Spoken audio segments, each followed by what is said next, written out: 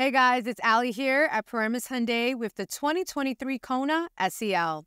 If you want to add a little bit of luxury to every ride, you've got to check out the convenience package available in this model. Let's take a look.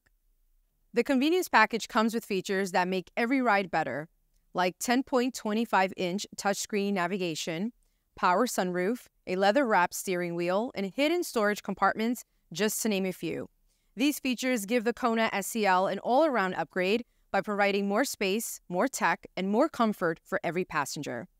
Hyundai thought of everything to make your adventures in the 2023 Kona SEL more fun and more comfortable. See just how convenient this convenience package can be at Paramus Hyundai.